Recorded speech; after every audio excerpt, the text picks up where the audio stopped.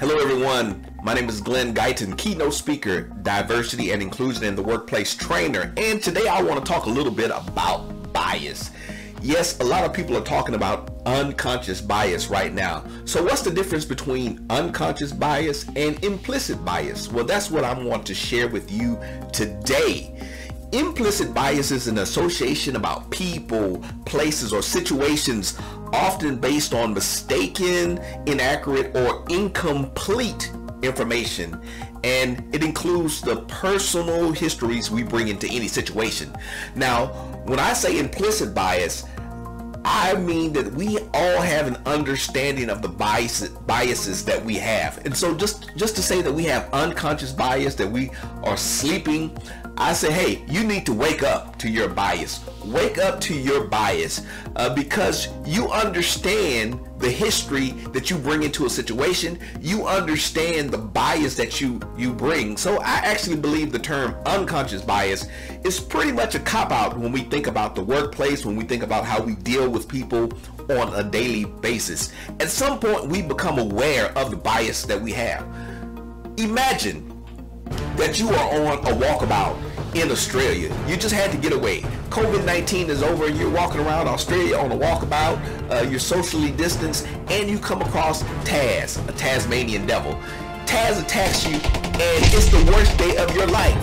So from now on, anytime you see a Tasmanian devil, you, oh, oh, you freak out, right? Because of your association that you have with uh, pain and Tasmanian devils. Anytime you see something from Australia, you oh, oh, you freak out. Not because you hate Australia, but because of what happened to you in Australia with the Tasmanian devil. And so now you can't drink Foster's beer. Uh, you can't watch Crocodile Dundee because you have all of this implicit bias because of your interaction with Taz on your walkabout in Australia.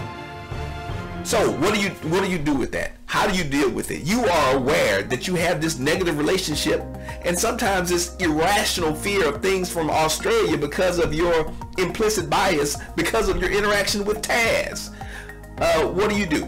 Well, there, there are a couple of things I will tell you to do. There are four things that I'm going to share with you that I think will be helpful in you to combating implicit bias.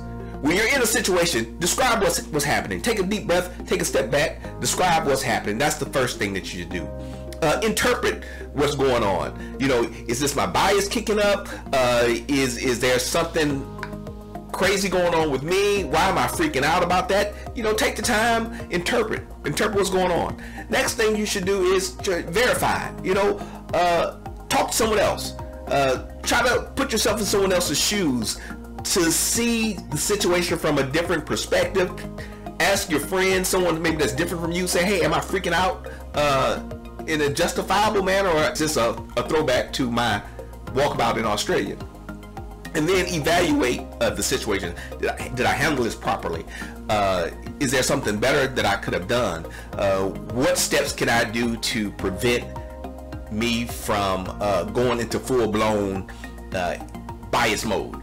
So those are some things that you can do dealing with implicit bias. Hopefully you have a better understanding what implicit bias is. And one thing I would ask you, uh, don't talk about implicit bias in the workplace as uh, using it as a tool to keep from talking about racism or other forms of discrimination that are just overt and that are just blatant. Uh, sometimes we want to say implicit bias in order to ignore the overt acts of uh, racism and discrimination.